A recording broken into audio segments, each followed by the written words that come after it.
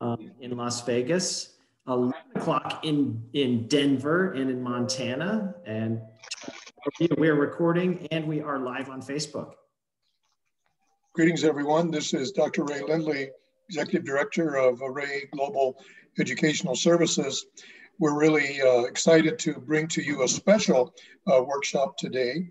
And I'm looking for Khalid Muhammad to see if he is on site.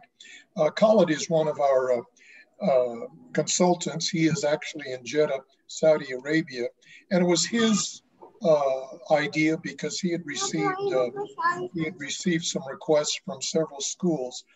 Uh, it was his idea to conduct this special workshop, so we're happy to present this to you today.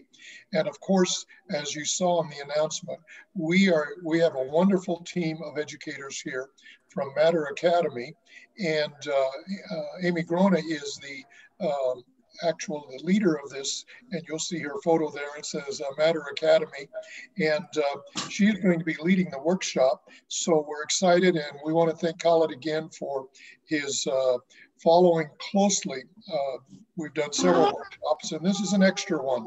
Uh, and the price is the same as the rest, so you don't have to pay any more but then you don't have to pay for the rest of them either. We're just happy to present these to you. For those of you who haven't met him, I want to introduce Dr. Jacob Frankham, who is the Associate Director. And Dr. Jake, you want to say a few words?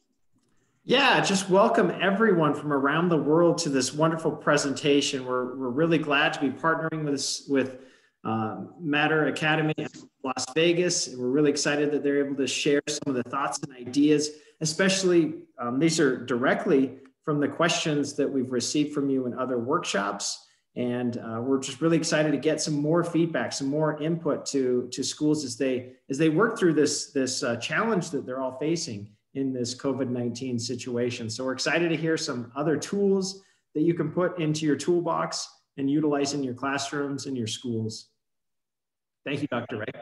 Thank you, and uh, thank you all again for attending. And uh, I know that you're going to benefit from this uh, workshop today. I want to introduce uh, Amy Grona. Amy is the head of this program uh, from Mater Academy and has marshaled all of these forces to come together today uh, to present this workshop. She will introduce her. She, she, will introduce her presenters as they present. And John Barlow, I'm interested, in, you're showing your cell phone. Are you not hearing us? Oh, unmute. Is there a technical problem?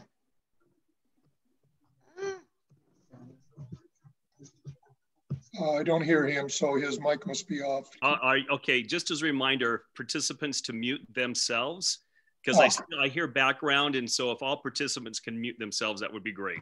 That'd be great. Okay, thank you. So uh, Amy, uh, she'll be the first one, Amy Grona uh, from uh, actually Las Vegas uh, and a wonderful workshop ahead of you today. So Amy, thank you so much and your team for participating with us today. And we are trying to, as you have said in your title, sharing ideas around the world. So we're happy to have everyone here. Amy, the show is yours. Thank you. Can everyone hear me? Okay. Yeah. Can everyone hear me? Yes. Okay, okay, perfect.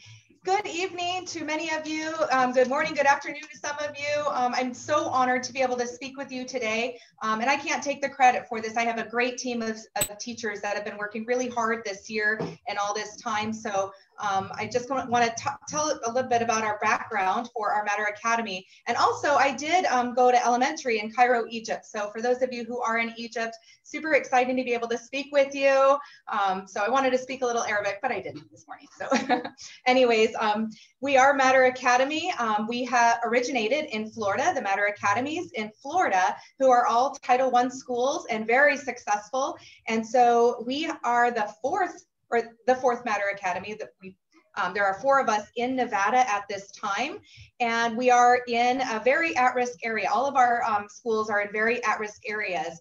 So we have about 85% Hispanic, 8% Black, 4% white, um, and then, and that's in all of our schools. In my school alone, we have 1,075 students in grades pre-K through eighth, and we are 100% free and reduced lunch.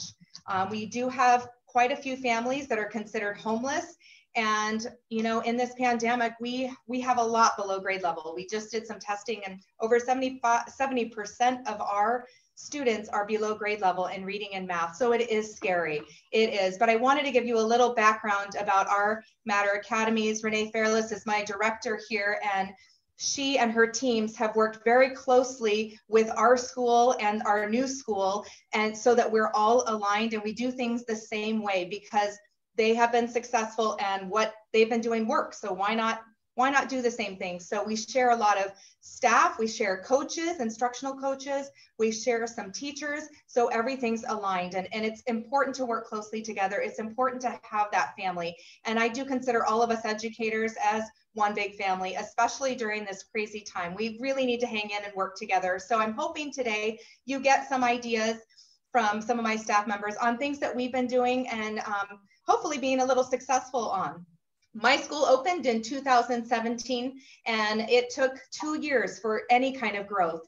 You know, we got a lot of students that were behavior problems. We had students all below grade level. And so it took two years and we made huge growth. And that was with the help of all of our um, Florida and Nevada Mater affiliates. So um, we collaborate. And when, when COVID hit in March, we immediately trained our staff on Zoom and immediately got technology out to families so that we can continue education. So we were virtual since March and we still are, but right now we're slowly getting into a hybrid model. So right now at our school, we have kinder through fifth grade that are coming in half half of the classes are coming in Monday through Thursday, while the others are at home doing virtual learning. And then the following week, the other half comes in, and while the, that other half is at home virtual. So it's kind of crazy doing the hybrid model and it's not easy. It's not easy. So it's important to have a lot of support. And so therefore, um, I am going to have my instructional coach who works at all three campuses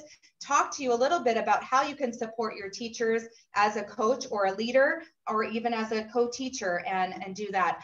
Um, each time I have a teacher come on, they're going to introduce themselves and what they do and give you some ideas and hopefully um, help engage the kids because that's huge right now. Engagement is key right now with keeping them focused and in front of cameras.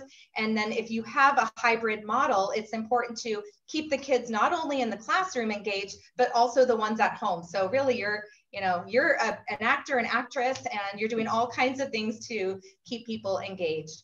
Um, so I'm going to introduce my instructional coach, Karen Tanaka, who's going to talk a little bit about that, and then we'll flow through some people. And at the end, I just want everyone to know we do have everyone's names and emails up. If you ever want to reach out to my staff or even join their Zoom sessions and watch how they teach, feel free to do that. Okay, so I'm going to introduce Karen Tanaka. Thank you, everyone. Hi, I'm Karen Tanaka, and I have, oh, thank you so much. Hi, my name is Karen Tanaka, and I have been in education for 18 years. Um, I began my career in the online schooling area. So actually, I did have a, well, okay, hold on, sorry. Um, I did have quite a time to be able to transition over, but at least I was able to have some of that background information. So there were just a few things that I wanted all um, instructional coaches to know is really during this time, especially be a cheerleader. We need to be the biggest cheerleading group for our teachers because right now, not only do we have all the stresses of possibly bringing kids back onto campus if we're starting to do our hybrid model, which a lot of our campuses are doing. Um, we also still have some families who are remaining at home because they prefer to stay at home. So we have to do the combination of the online with the hybrid. So we are trying to make sure that everyone is feeling supported. So instructional coaches really need to be there for support.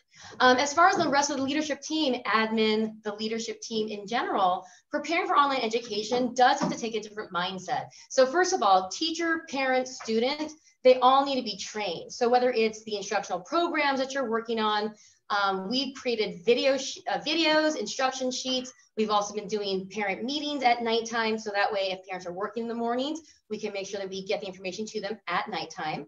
Um, some of the backup plans, if we have poor connection, uh, connection with the internet, we're providing hotspots for families. We also have local libraries who do also provide free internet services. Uh, we've also, you know, talked to our families to, hey, talk to your family and friends, neighbors, see if maybe they also have some wireless capabilities they might be able to share with you. Um, or also out in our community, like Boys and Girls Clubs, they might be able to pro um, provide things like internet access. So we talk about instructional design two terms that we need to learn and make sure that we know and understand in the online world is synchronous versus asynchronous. When you're designing your program, you need to decide whether you want it synchronous or asynchronous learning. Synchronous meaning you are teaching and learning at the exact same time. So right now we are doing a synchronous Zoom meeting versus asynchronous, which is similar to what maybe some of you guys who have been in college programs have gone through. Sometimes your college professors will say, hey, read this article, then I want you to comment in the discussion area. Then comment on two or three more of your classmates. That can be done obviously at any time period. So that is the asynchronous part. We are actually combining the two and we have synchronous and asynchronous teaching going on and learning uh, because we use portals like Google Classroom that can house all of our teacher curriculum and the students can access that virtually at any time. Now, we don't just say, hey, free for all, just do whenever. We do actually have the kids on a standard school schedule. Um, it is modified for the hybrid times, but again, we do have the students on the computer for certain times, and we do still have outside learning for homework time. When we are talking about also designing, um, you want to make sure that you are thinking about the proper supports for all of your different grade levels. I have on here an example for kindergartners. But again, for kindergartners logging into computers, some of them for our, our population, they don't even know what the alphabet is. Some of them do, some of them don't. Some of them, if you tell them, hey, what's that letter? They will look at you because they don't know what a letter is yet. So these are some things that also per grade level, you need to consider when you are trying to integrate, whether it's fully online, hybrid, or again, trying to do hybrid and you know face-to-face -face all at the same time. Other considerations you have to do are grading considerations. Things like participation. What does that look like now that you're in the classroom only or online only, or you're doing that combination of the hybrid? What does that look like and how are teachers going to grade on that? Um, as far as the work output, how much of the work are you expecting of your students and how are those grades then going to be reflective? Um, engagement strategies, are we engaging the students and taking points for that? Are we just making sure that they are engaged and turning in work? These are things that the leadership team should be discussing as a whole group. So that way, when they push it out to their teachers, students, and their families, they can make sure they're one cohesive group, all saying the same message about what they want to do for their expectations. Then as far as the safety for um, our students, we did run into a problem. I don't know if you, some of you guys saw on the news, America, when we started Zooming, well, across the nation, we started having Zoom bombings where people would randomly come into Zoom rooms that were not necessarily completely secure and they would just pop in and maybe say inappropriate things to students. And this is happening nationwide. So, in order to kind of alleviate from that, we, um, piggybacking off of our Florida sister schools, we also started to use a program called Collegia. There is a link down there. I'm not going to go to right now, but if you did want to join, uh, go check that out. It is collegia.org. And that is a portal where students have to sign into it using their specific school email address and their password. Through that, we can connect and partner with Google through the single sign on process with Google then once students log in, all they have to do is click on their Google profile and through Collegia, we have connected them with all of their school curriculums. So no longer do they have to log into 10 different programs in a day. They can log into Collegia once and then click on the different curriculum buttons as we get there. So that's what Collegia has done for us. And actually, we're getting ready to roll out Collegia 2.0 this week. So we're getting ready to uh, talk to our teachers, parents, and students about that. So on the flip side, growth mindset. Again, this is for everyone involved in online education. We have to be multitasker masters. Yes, there are multiple things going on at once. So number one, make sure that the training for your teachers is there so that way we can help provide that proactive assistance. Um, please understand that they're all going to be technology trailblazers. We are asking our teachers to do something that we've never asked generations of teachers to do before. So again, we need to be there for support. Also, we must be the models of being online citizens. Please remember that everything you put on there might possibly stay there. So we have all been upgraded to about YouTube famous kids, when they watch the videos, they don't want to just see someone boring talking like this. They want to be fully engaged and they want to be told, why do I want to look at this crazy person on the screen? Well, sometimes we get our personalities out there, we can make it that more interesting. And again, make the kids feel like they're still right there in the classroom with us.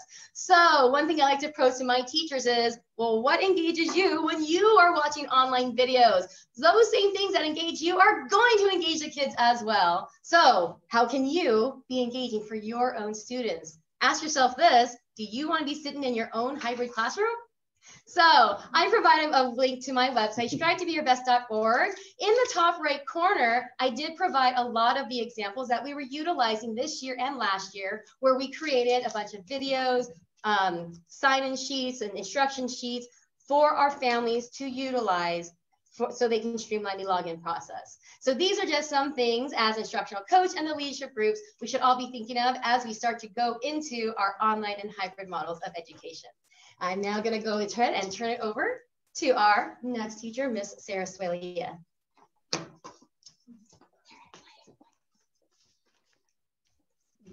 Thank you. Hi, my name is Sarah Swalia. I've been an educator for four years here in Las Vegas, Nevada. Um, three of those years I specialized in mathematic teaching only. Uh, today I want to talk to you guys about our classroom of the future, the hybrid model and the distance education technology that we are currently using. Um, if you were able to see this awesome setup that we have for you guys while you guys are zooming from home, uh, what we have are some of these technologies that you'll see on the screen. Um, hopefully you guys are using Zoom. Some of you guys, there are technologies such as Google Meets, but you do need a platform for you guys to be able to have that um, distance education with your students. What we're using and what we are actually um, flipping back and forth is, is a technology called a Swivl. Um, a Swivl is a technology that you can pair with an iPad or an iPhone that will actually direct the attention of your Zoom lesson to wherever the speaker is. So right now we have it in a mode where you're not going to be moving around, but I can actually move around my classroom with my students. that Swivl is actually the bottom left picture where my iPad's sitting. So sometimes I'll have it directed towards my board when I'm doing notes, or sometimes when it's time for my students to do independent practice, I'll turn it on and my students at home will see that I'm not only engaging them at home, but I'm also engaging the students in the classroom. Um, on the, the far right screen, you'll see some of my students' beautiful faces. That is our TV monitor and laptop care that we're able to show our students' faces in a larger screen. So we're able to engage with them in the classroom. Our students in the classroom are able to engage with them. They're able to see and hear everything that's going on as well. Um, it's very important that we have um, technologies such as the iPads to get the Swivl feature to work and we're able to use interactive whiteboards in our classrooms as well. So those are some of the key technologies that we've used both in distance education as well as the hybrid model when we have students online and in the classroom. Um, I will be talking to you guys a little bit later about math education, but right now I'm gonna pass it on over to our counselor, Ms. Laura Fett.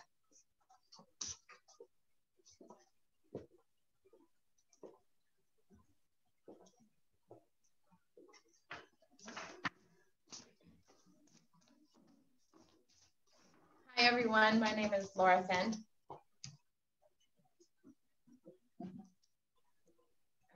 Hi, everyone. My name is Laura Fent. I am one of the counselors here at Mater Bonanza, and I'm very fortunate to be a part of a great social and emotional team here.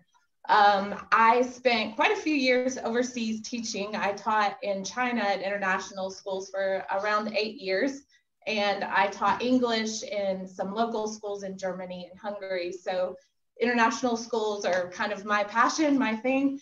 Um, today, though, I'm going to talk to you guys a little bit about relationship building and a little bit of relationship building online. Right now, since we're virtual or hybrid, the different situations uh, we've been presented with have made relationship building uh, definitely more challenging.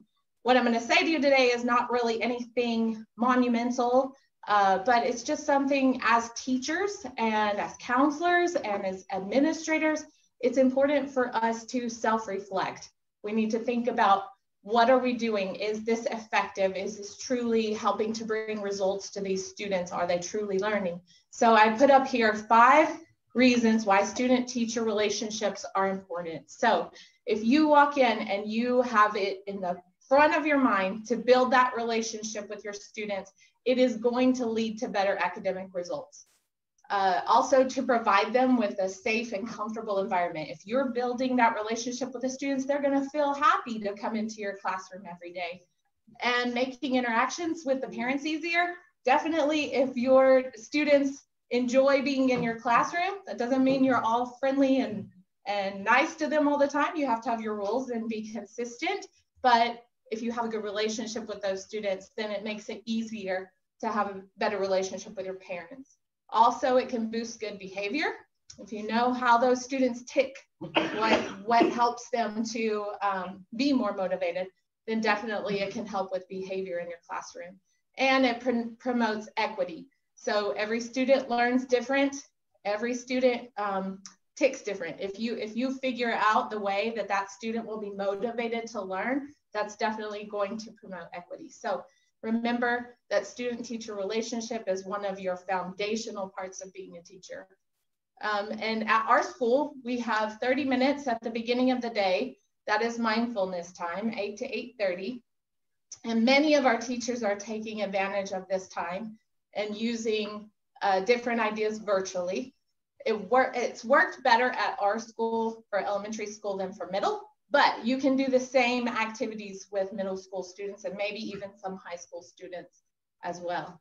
So some of those activities that I've seen being done, they've done some breathing techniques with their students online, had journal assignments or drawing. You can use some of the, the um, different drawing applications online for the students.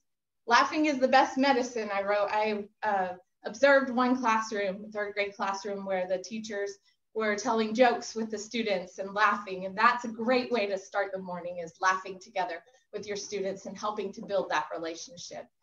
Um, also, exercising or stretching, you're gonna hear um, a couple of different links, uh, brain breaks and ideas for students to get out some of that energy in the morning. And meditation or happy music, music is international, no matter what culture you're from.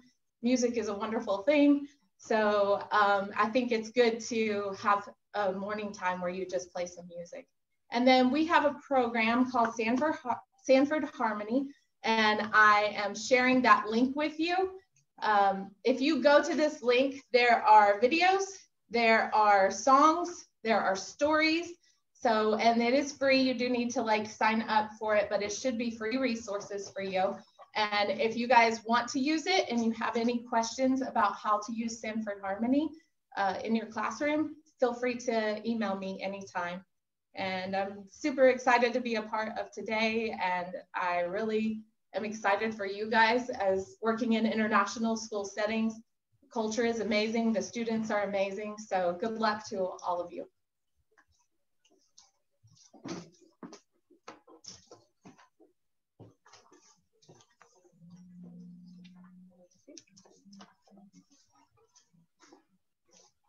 Hello, I'm Trinice Crowder, and I will be speaking with you about engagement and engaging your students.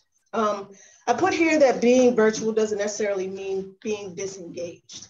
A lot of times, the trouble that I was having initially is engaging my students online, and then my students in the classroom were just sitting there, or vice versa. And so, trying to find that balance of doing things that both your students at home and your students in the classroom can do and, and enjoy. So one thing that I do is called stand and sit. Very simple. You can use it for just about anything, academically or personal questions. For example, um, on a brain break, I may say to students, stand if you like cupcake, no, excuse me. I may say, um, if this applies to you, stand. Are you an only child? And then the students would stand that that applies to. Uh, do you like pizza? Stand, sit that sort of thing. It allows the students to, to know each other because they can see who's also standing. And it allows for you to get to know your students as well. Another thing I like to do is you got to remember everybody's been home for so long and inactive for so long. And so the superhero workout, the superhero workout, I just, it's, it's just a workout. I call it a superhero workout because I teach fifth graders. They're 10. Superhero sounds so much better than just workout, right? So um, I themed my workout after Marvel and Marvel characters. And so what we do is we might do an exercise called Thor, and it mimics throwing a hammer. We might do an exercise called the Spider-Man, and it mimics shooting webs. Whatever, as long as it keeps them physically active and engaged, you can model it after anything that makes your students comfortable or whatever they're currently interested in, but it keeps them engaged and it keeps them involved. Another thing I like to do is Would You Rather. This is a game that just about anybody has played at some point. But what I like about this one is that it allows for me to engage my students in more meaningful conversations. So you can have something simple like, uh, one of the questions I ask my students is, would you rather have like obsessively large, excuse me, excessively large hands or excessively large feet? And they were like, uh, so it just gets them thinking. But also another question that I asked was, would you rather cure world hunger or poverty? And the reason I ask these types of questions is because that starts a conversation. Depending upon what I'm going to teach for that day, I may ask a question that engages them in a way that makes them think beyond just simple questions and gets them to go a little bit deeper that gets them engaged in whatever's happening later on in the lesson. And finally, everyone wants to celebrate their victories. Now, we cannot spend all day. Um, maybe you've been to some sort of an event where there's that one person that's really excited to clap and they never know when it's time to stop. And so what we do is something called two claps. And two claps is very simple. Um, I'm gonna see if the folks in the room will engage me in this one. Um, shout out to Miss Welia who just passed her lesson. Two claps and we're done and we move on. And the reason we do that is because number one, it encourages the other students who may be moving a little more slowly and encourage them like, I want my clap. So let me get let me get on task. And it reminds the students what we're doing without having to say, let's get back on task. Once I celebrate this student, everyone wants their celebration as well. And beyond that, it shows us as people later on in life that you, you do want to celebrate your victories, even the smallest victories, but don't spend all day there. Move on. So if you just say to your students, clap, you're to have that enthusiastic clapper that's still clapping a whole minute later. so two claps keeps it simple. It allows us to celebrate. It allows us to acknowledge our, um, our, I just drew a blank, but it allows us to acknowledge the students who are doing well and we move on. Finally, I posted there a few uh, clickable resources for when this slide is shared to all of you.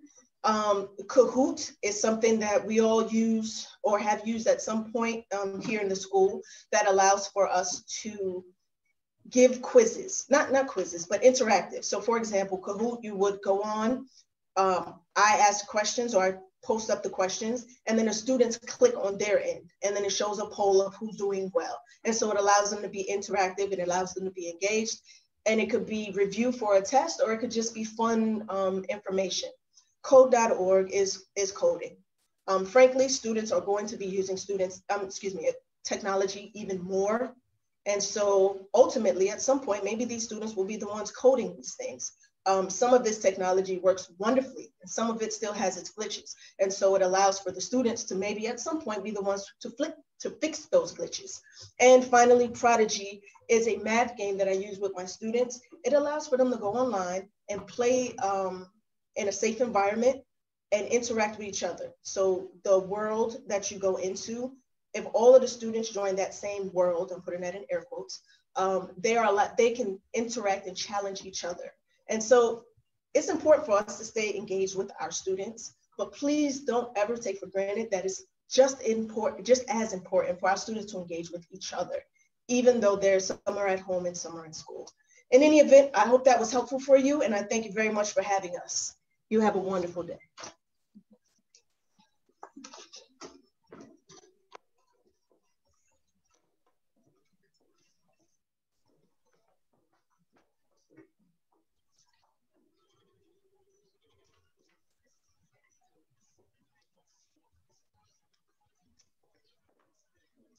Hello, great to be with you. My name is Peter Portman, and this is my seventh year teaching, and I teach everybody's favorite subject, which is music. Uh, a few things I want to cover. Firstly, is that uh, with any technology, you run the risk of what's called the learning curve, right? So no matter what piece of technology you use, whether it be hardware or software, a program, an app, whatever it is, you have to consider um, is this going to be difficult for my students to learn? So for me as a specialist, I only have about 35 minutes with the, with the kids, so I don't like to spend a lot of time um, teaching the kids how to use a program, how to use an app or whatever. So I, I would definitely recommend that whenever you're considering using a piece of technology or an app or program, consider the learning curve involved in teaching that to the students. So something very important. Now, as, as far as music goes, something that I run into is the issue of latency. Now, latency is the time it takes from when you say something to when your kids hear it, and then they respond back to you. There's a couple second delay. Now, obviously, as a, a music teacher, that's an issue because we can't time things up correctly. So one thing that I use, which is for mostly assessment purposes, is a program called Loom. I really like Loom because it comes in different forms. There's an app for iPads and iPhones, as well as other uh, Android devices. It also plugs right into your Chrome browser. So if your students use Google Chrome, the extension is a little extension that plugs right into your Google Chrome browser. And the way we did, we did it is we had our tech company um, download it automatically for the students. So they automatically had it in their Chrome browser. And what Loom is, is it's essentially a screen capture program. It captures the, the student's screen, it records their microphone, and it also shows their uh, webcam in a little bubble in the corner. And I like this because I can give students uh, a video, I can give them sheet music, I can give them like a karaoke track, and they can perform along with that, record themselves playing or singing along with that track. And then it creates a video with their webcam, with their screen, with their microphone. And it's all based in the cloud. So they can share that video with me just by sharing a link. So very easy to use. Again, I use Loom, great for assessment if you are a music teacher, or if you just want to use it as a, you know, general classroom teacher, it's also a great resource. The second thing I use is uh, an embeddable virtual piano. So we run the issue with music uh, with students not having instruments. Many of them don't have pianos or guitars in the home. So to combat that, I have a embeddable virtual piano. This is a, a virtual piano that you can install in any um, web app or web page rather. And you can uh, equip it, like I like to use it with uh, sheet music or I'll put notes on the screen. That way it's all on one screen for the, the students and they can, um, they can play along with the, with the music there, as you can see on the right screen there. Um, I also use this with Loom where the kids will record themselves playing it and that way they can submit it uh, as an assessment. Here's a picture of my setup that I use. I have some light umbrellas and I just like those because when you're doing music and you're trying to show kids like fingering on a recorder, you really need good lighting to show detail so students can really see exactly how you're doing something. Uh, so lighting is very important. I also have obviously a big monitor there and uh, my laptop I have a USB microphone I like to plug in that's a little bit more mobile. It's on a boom stand, so I can move it around to wherever I need it to be.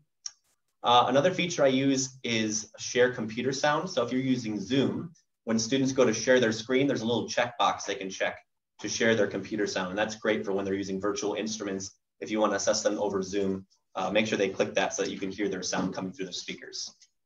A few programs I use for communication. I use Google Classroom just to stay in touch with the students and post assignments. I use uh, Class Dojo because many of the teachers are already using that, so don't reinvent the wheel. I also have a Google site that I use with students for static information. As far as engagement and assessment strategies, I use Pear Deck occasionally. Uh, Deck sometimes takes some time to set up. So uh, with a class of only 35 minutes, sometimes I try and stray away from that, again, with the, uh, the learning curve. Uh, Google Forms are also useful for doing assessments. I also have, like I said, have students share their screen with their sound so I can assess them over Zoom A couple programs that are just for fun. We have Incredibox, very engaging. Students love it. It's very interactive, very visual. Uh, and Chrome Music Lab also has a lot of great music apps for students to use. So that is essentially the bulk of my musical suggestions. There are plenty of programs out there, but find the ones that work for you.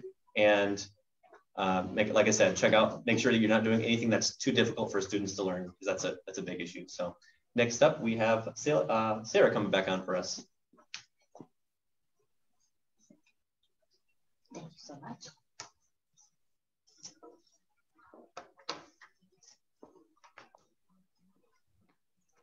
Hello there again. My name is Sarah Swalia and I do teach math. I taught math in third, fourth, fifth, and sixth grade. Um, I think this year is obviously the first, the second year I've taught third, which is the youngest that I've taught math exclusively to. And it's also obviously my first time teaching math virtually. Um, back in March, we were thrown into a situation where we were not able to see our kids and we weren't able to be in the building as well using the technology that we have now. And so I really had to figure out quite quickly how to engage my students while teaching math virtually.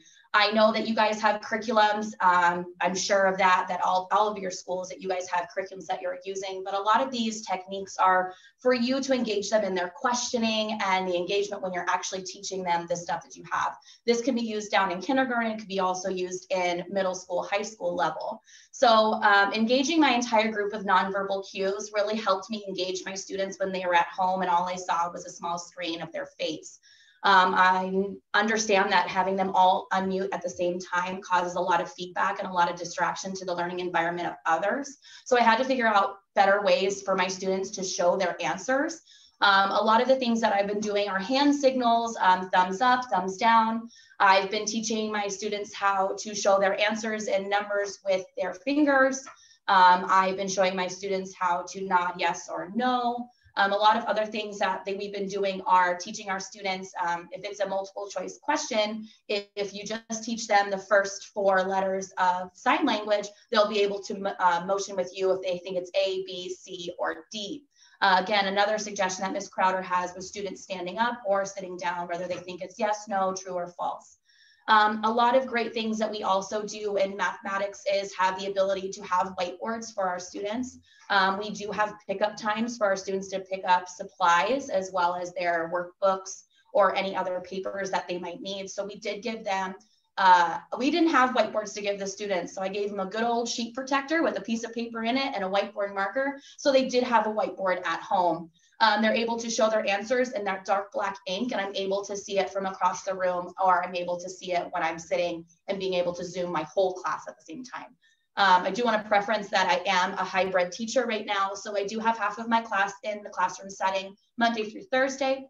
And I have the rest of my class online. Um, we are um, not asynchronous, synchronous learning um, together. So we are doing the same things together at home and in the classroom. So what I found was we have the ability in Zoom to create breakout rooms. And breakout rooms really is the virtual way that I can do small groups with my students. Um, I have students in the classroom that I can monitor and I let those students be the leader in the class of these breakout rooms. So instead of me needing 16 different technologies to be able to see what the students are doing, I have a student representative in the classroom that are able to do these breakout rooms with their with their classmates and I'm able to have that group work and I'm able to have that conversations and that um, that discourse that I want the students to have, especially on the online setting. Um, so I hope some of those help you when you guys are teaching in the math uh, setting virtually. I did give you guys a link whenever you're able to have this presentation of a great website that has virtual math manipulatives. I know we are unable to uh, give a whole class work, uh, class um, a class what? Set. Set, class set, that's the word. I were unable to give people a class set of these manipulatives because we might not get them back. So what we had to find was we had to find a virtual math manipulative website that also goes um, different grade bands. So I do have counting bears for my friends in kindergarten first. I have fraction tiles, fraction circles for my friends in those intermediate grades. And I also have number lines and graphs for my friends that are in middle school and high school. So I really urge you guys to go onto that website when you guys are able to have this presentation. And I will be bringing it to my ELA team. And I'm going to bring in some awesome kindergarten teachers, a wife and husband duo. Here you go, friend.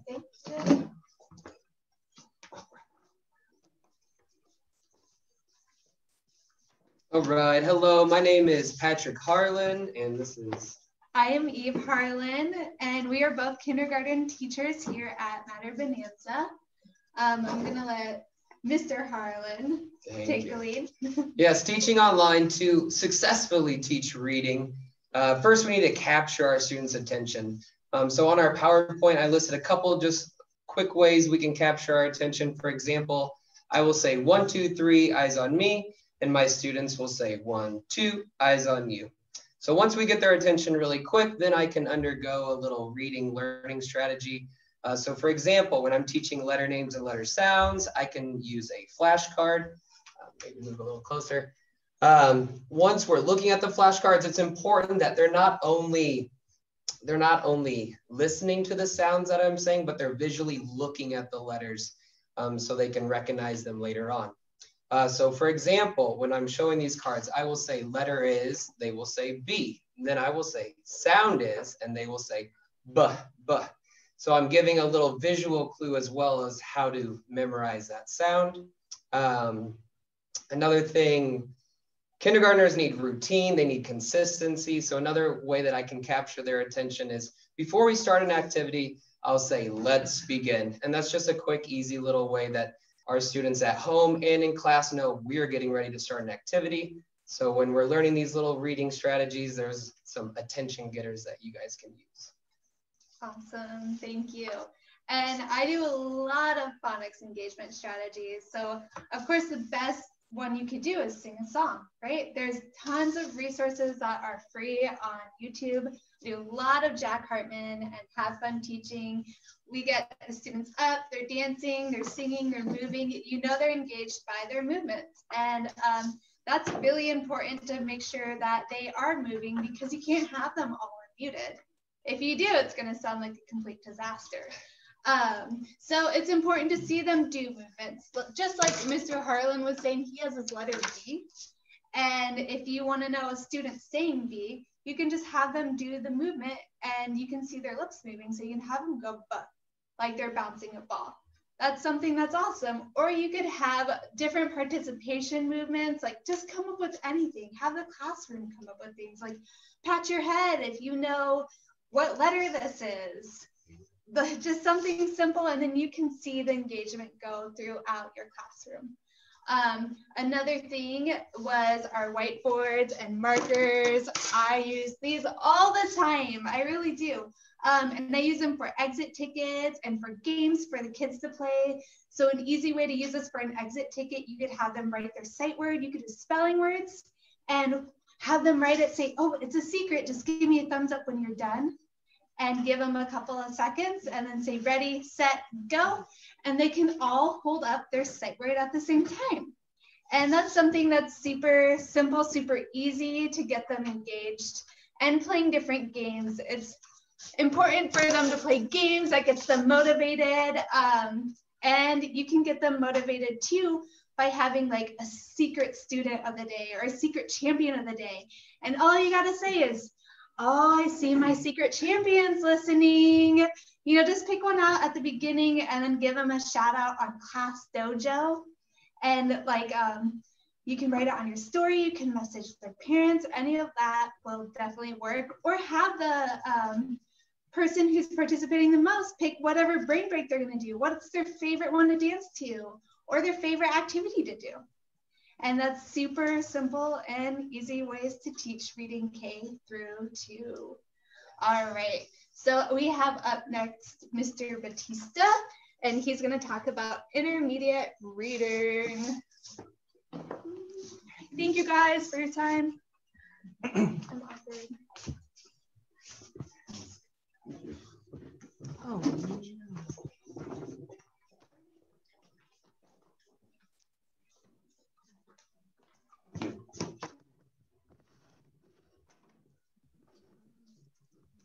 next? Okay, and it's gonna be this one? Yeah. And then switch up of those of Phillips for Tanya, Miss Lana. Oh, I see, okay. Okay, do you wanna give access really quick? It doesn't look like that link is working.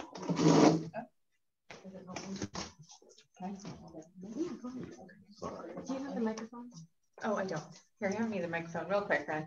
Okay, real quick, I just need the microphone. Thank you. While they're trying to set up for intermediate reading, I know he's got a few different slides. I just wanted to, I'm, I'm Amy Grana for those that came in late. I'm the principal here at Mater Academy. I also want to say the importance of um, parent engagement and um, getting the kids um, excited about not only learning, but having the communication open with parents and Zooming with parents and keeping them posted as to what's going on, sending out newsletters, sending out emails.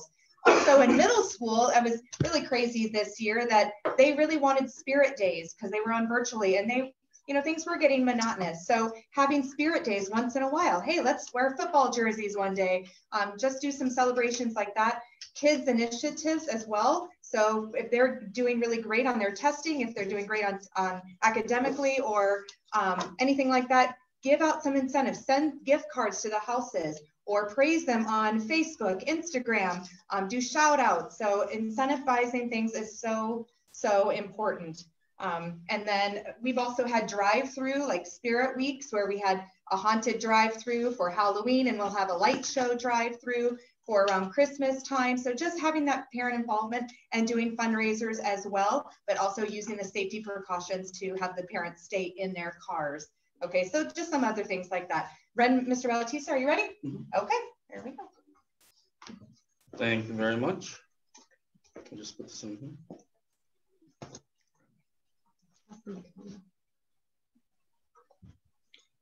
Okay, um, let's get started. I am Mr. Bautista. Uh, I teach fourth grade ELA. Uh, I've been teaching uh, a Mater for about three years. Um, a while back, I was also teaching uh, English through drama in Japan for about four years. So that was also useful.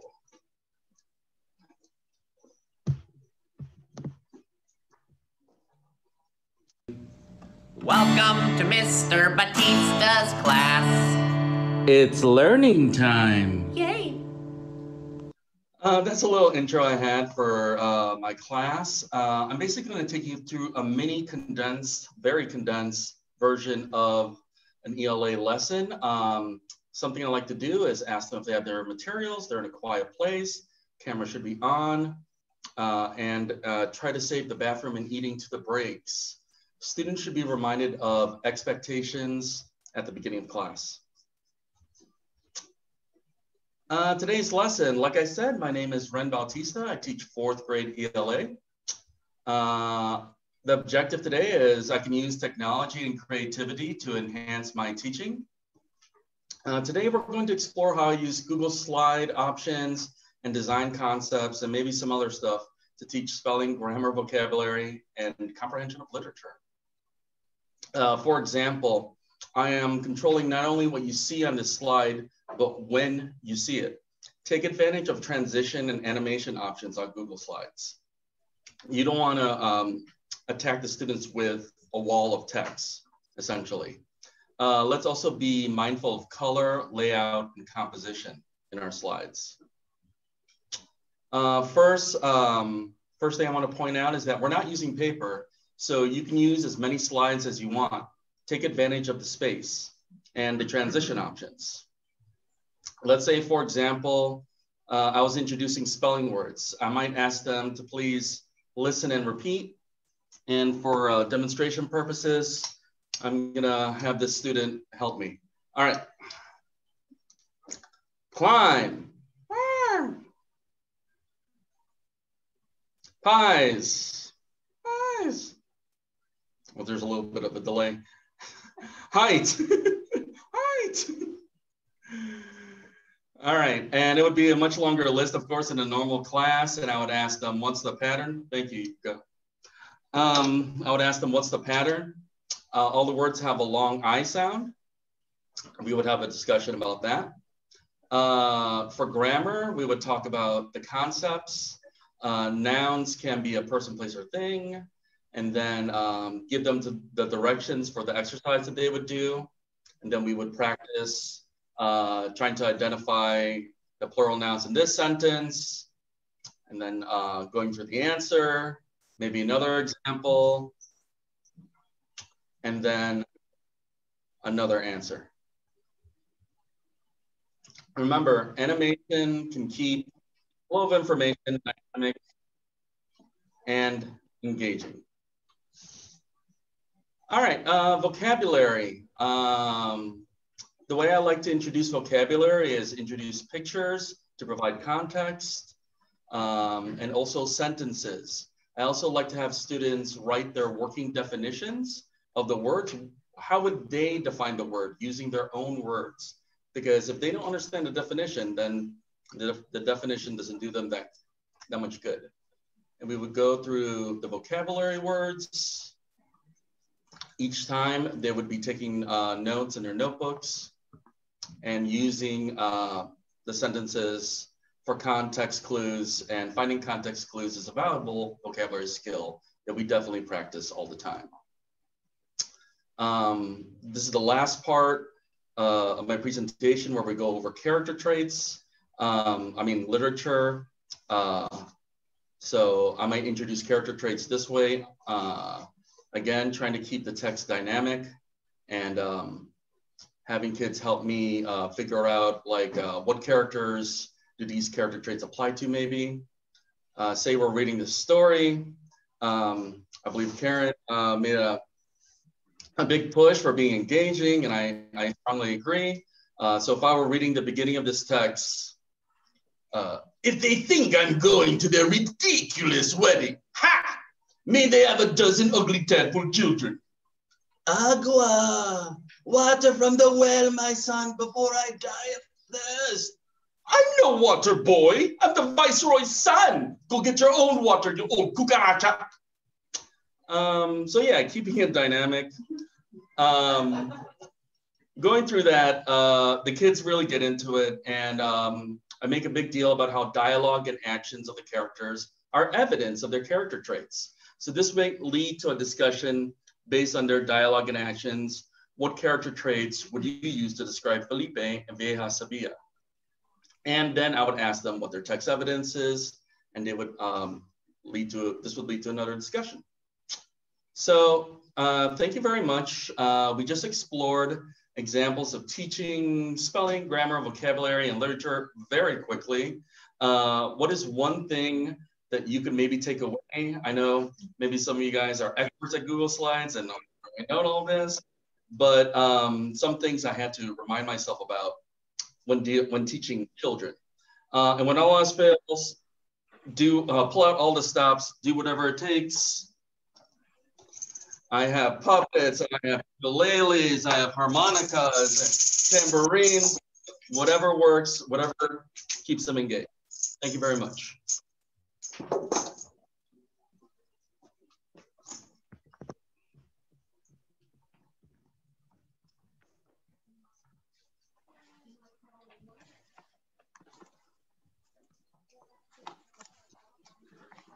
Hello, everyone. Uh, my name is Trevor Harder, and I am a middle school science teacher here at Mater Bonanza. And I've been teaching for uh, five years across the United States and um, a brief stint in Taiwan as well.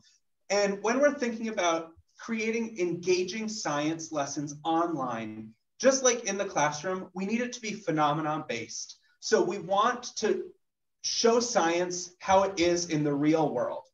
And not all students have the same background knowledge as all of their peers. So we need to create that background knowledge by using videos of actual science or actual uh, processes that happen in the natural world. Once we have that background knowledge and we're testing more uh, information or we're trying to gather more information, we can do teacher demos if we have supplies in our classroom. It's even better if we can create these uh, experiments at home for our students using common household items. So I am currently exploring plate motion in my classroom. And, you know, uh, the mantle looks just like what's underneath a chair.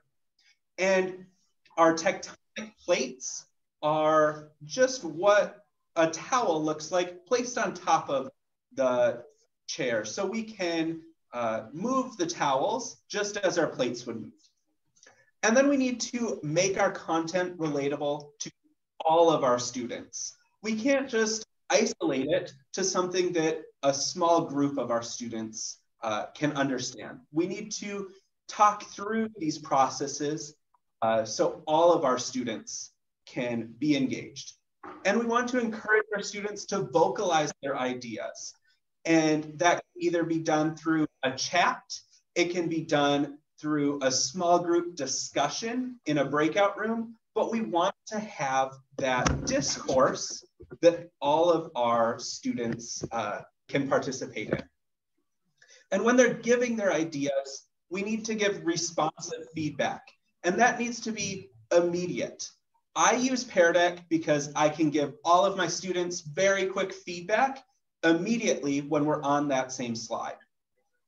And then I always use guiding questions to lead our conversation. And so our conversation has substance. I don't want just that surface level, this is what it is. I want them to be able to apply what we're learning in my class to other situations outside of the classroom. So I've provided a couple links down below. Um, the first one is some really engaging science lesson ideas. And then below that is the digital interactive notebook that I created for our Mater system here in Nevada. Um, so I would like to share those resources with you. And with that, I'll turn it back to Miss Karen Tanaka. All right, and I am back to talk about testing in the COVID world. Um, there are some considerations when you are deciding to test either online or face-to-face. -face. We've actually gone through both already this year. So as far as online considerations, you do have to look at the validity of the test scores to really ask, you know, are these valid? Now, we do actually have a data person specifically for our Mater Academies. Um, and she does talk about the validity of test scores. And what they have found is that the correlation between whether students are on the same track as far as based on last year type of um, data we were looking at, we are seeing that the test scores from the home testing is still pretty accurate. Yes, there are always going to be some outliers and some, you know, extraneous events, but for the most part, these test scores are truly valid. So we are still testing our students and making sure that we are seeing that growth that we want to see from all of our students every single year. So some of the other things that we need to question though, not the validity of the test scores is because we know at home, there could be distractions beyond the camera view. Right now, you're only seeing that tiny little screen, but how do we know there aren't giant monkeys crawling around in the backyard? We don't know. So again, because we don't know what's going on beyond the class, uh, the, beyond the window screen, that could also be something that could maybe mess up your test scores. Um, to alleviate that though, so we can monitor as much as possible, we do have a program called Go Guardian that we do utilize. It can monitor and control student activity online. So when students log into the Go Guardian portal, our teachers can actually see what websites every single student is on and they can see that live. So if maybe a child decides, oh, I'm kind of bored of this reading assignment, I'm going to open up YouTube for a second, the teacher can see that immediately and say, oh, Johnny, we are not making very good choices right now, but I'm going to go ahead, X out of that YouTube screen, and I'll have you go back to reading your article. So it does give our teachers at campus more power to be able to make sure that the students at home online are actually doing what they're supposed to be doing. The other problem with the online testing at home are the internet capabilities and the technologies available. Um, other things to consider is not only is the internet, you know, is it good, strong connectivity? What do you do about makeup testing? Are you going to then bring kids in to test in your school structure for makeups? Or are you going to also hold those online on different days? Those are things you need to consider.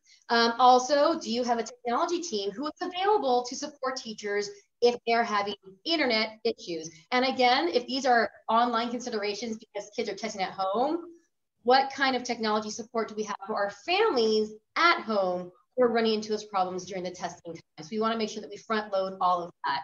Also, we need to make sure, going back to the teacher training, we need to make sure that not only are teachers prepared on those programs, but we do also have to make sure that our students and our parents are also trained on all the programs we are having them test, quiz, or whatnot on. So that's the online world. We're considering face-to-face and we are dealing with all these social distancing protocols. Um, number one, again, always goes back to your you know, city, state, country, wherever you are at in the world. But considerations, again, still going back to the validity of the test scores.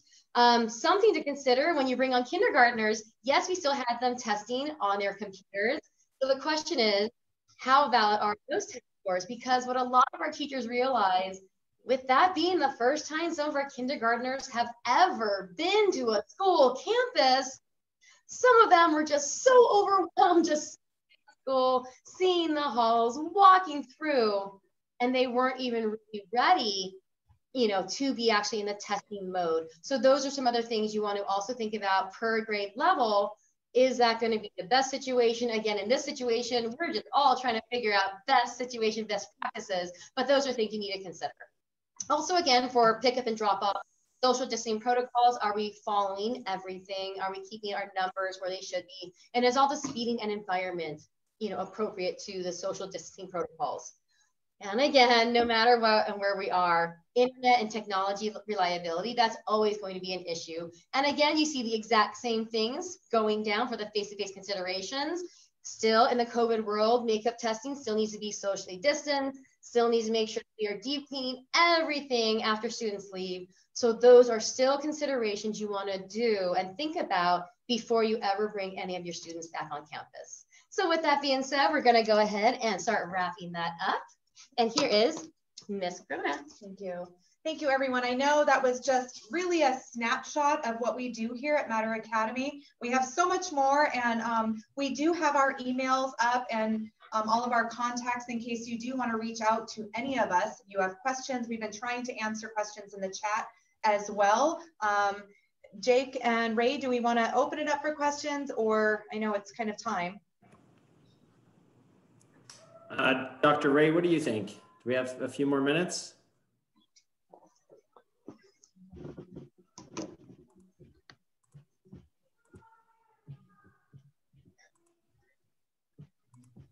There we go. Oh, there you yeah. Thank you, uh, Mater Academy. Amy, this has been just so very helpful. Each one of your presenters has been so very, very uh, informative. Thank you. One of the things that I've really enjoyed seeing is the ideas that have been flowing back and forth from one participant to another. And uh, so what we've what we hope we've done is not only to hear your expertise and the, your wonderful presenters, but it, there's this connection uh, among the people. And uh, I actually see Khalid Mohammed there now. And I introduced you Khalid uh, Wave so everybody knows who you are. Uh, he's the one who had this idea for this workshop, and I want to thank him for that. I think what we'd like to do with questions is uh, you can uh, obviously send your questions on our Facebook page. Uh, most of you are watching this on Facebook, and we will either try to get Amy and her staff to look we will look at them, but uh, we'll try to get back to you. Again, you have the uh, email addresses of all the presenters. So if you want to uh, correspond uh, directly with them, uh, you'll do that. So thank you again for this wonderful, wonderful, helpful presentation. We've learned things about several subjects that have that Khalid actually has presented to us and said, these are the subjects people are having trouble thinking about online. And so hopefully this has been helpful. Uh, I, I, just want to remind us all that, uh, and I've this today, uh, Amy, I want to tell you, every one of your teachers and presenters obviously has a real exciting uh, job to do. We can't underlie, we can't under uh, state the importance of, of teachers because teachers encourage minds to think. They encourage hands to create and they encourage hearts to, to love. And you've done that today. I want to close with just something that I shared a few weeks ago in a workshop. And uh, we've had such outstanding response. I wanted to share it again. In fact, we've had some teachers who have actually made a poster of this and put it on the walls of their classrooms. And I, I, uh, I conclude with this. It's the I promise. And I encourage you all to consider this. I promise to care about you. I promise to be patient with you. I promise to help you when you're struggling. I promise to enjoy teaching you. I promise to be trustworthy. I promise to believe in you. I promise to make learning interesting, fun, and meaningful. I promise that I will challenge you to be your very best. I promise to do everything I can to help you succeed. I promise that no matter what, I will never give up on you. All of us feel that for these precious, precious lives will come into our lives every day. And remember, you might be the only reason a student comes to school today. So thank you so much, everybody. Dr. Jake, any concluding thoughts?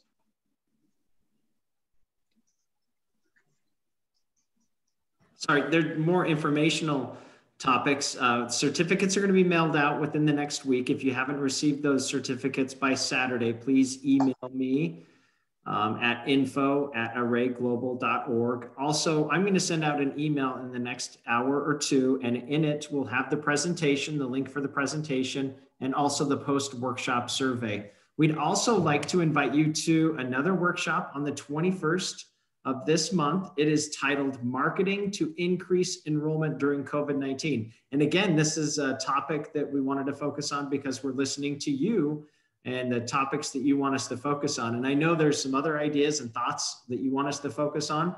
Uh, this is one that, that has risen to the top from a lot of different schools. So we want to address that with you because a lot of private schools are struggling keeping their enrollment. So we want to give you some thoughts and ideas on how to uh, best deal with that. So other than that, Dr. Ray, that's it. Uh, everyone will be hearing from me in an email in just uh, a few moments. Thank you all very much. Have a good evening. If it's evening, have a good day. If it's day, and have a good life, whatever. Thank Thanks you, so everyone. Thank you. Thank you.